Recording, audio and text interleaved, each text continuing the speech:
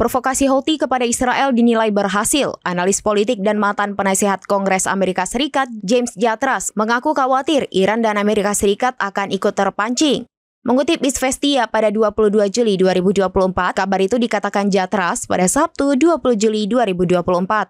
Menurut analisanya, Israel disebut berada dalam posisi yang sangat sulit mengingat kegagalannya di jalur Gaza. Israel dipaksa harus berperang di banyak bidang sekaligus, namun disebutnya tidak berhasil dalam hal apa pun. Itulah yang ingin dicapai Houthi, yaitu masalah besar bagi Israel. Bahkan Iran dan Amerika Serikat disebutnya bisa terlibat dalam konflik akibat serangan Israel di Hodeidah itu. Houthi disebut ingin memprovokasi Israel untuk menyerang Yaman, dan Houthi menunjukkan bahwa mereka dapat menyerang Israel dan menciptakan masalah. Namun Perdana Menteri Israel Benjamin Netanyahu menegaskan negaranya siap mempertahankan diri dengan cara apa pun.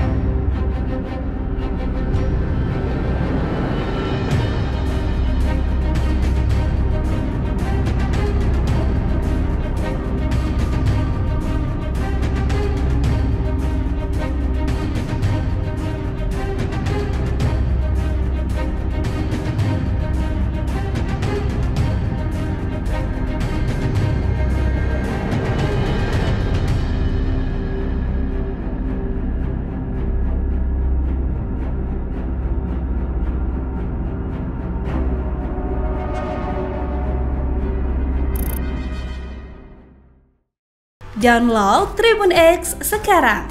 Menghadirkan lokal menjadi Indonesia.